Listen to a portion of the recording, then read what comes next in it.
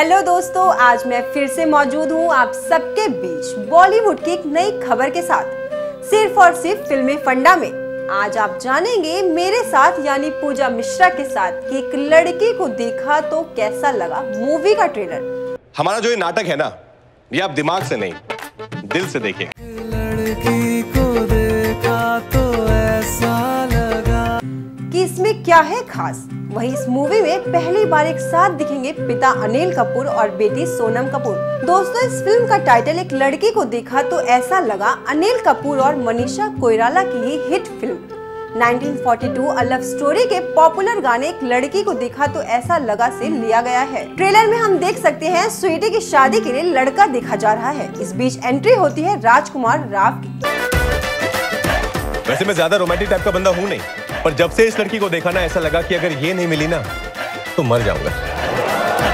स्वीटी उर्फ़ सोनम के घर वाले राजकुमार राव को पसंद कर लेते हैं। तो ये भी पता है स्वीटी बेबी आपको लव करती है। डैडी स्वीटी तैयार है शादी के लिए? क्यों नहीं रेडी होगी? इनको एक दूसरे से मोहब्बत है इश्क है उनसे ये एक दूसरे के हबीब हैं। क्यों पुत्र? अंकल इतनी उर्दू तो मुझे भी नहीं आती। बात आगे ही बढ़ने वाली होती है कि सोनम अपने घर में ना जाने कौन सी सच्चाई बता देती है। पंकज से शादी मुसलमान से शादी बनिहाल डॉट कॉम से शादी। सबका दिमाग एक ही डायरेक्शन में क्यों चलता है? उस दिन मैंने अपने आप से कह दिया कि मुझे हमेशा अपना सच छुपाना पड़ेगा। कहना है जो लेकिन आखिर सोनम ऐसा क्या कहती है कि उनके पिता बने अनिल कपूर गुस्से से लाल पीले हो जाते हैं? तेरे से ये उम्मीद नहीं थी। पर मेरी उम्मीद पे खरे तो आप भी नहीं उतरे डैडी।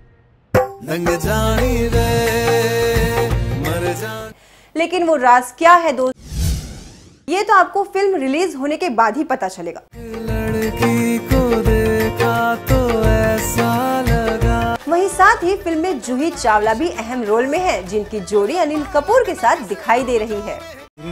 पार्टनरशिप करोगे? किस टाइप की पार्टनरशिप प्रोफेशनल या पर्सनल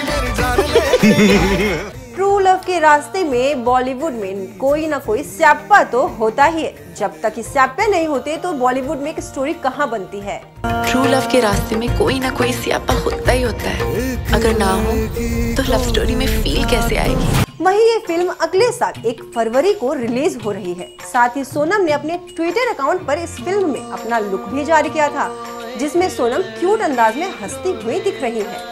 गाइस पर्सनली ये ट्रेलर देख के मुझे तो बड़ा मज़ा आया। और आपको ये ट्रेलर कैसा लगा आप हमें कमेंट कर सकते हैं। साथ ही हमारे इस वीडियो को लाइक एंड चैनल को सब्सक्राइब भी कर सकते हैं।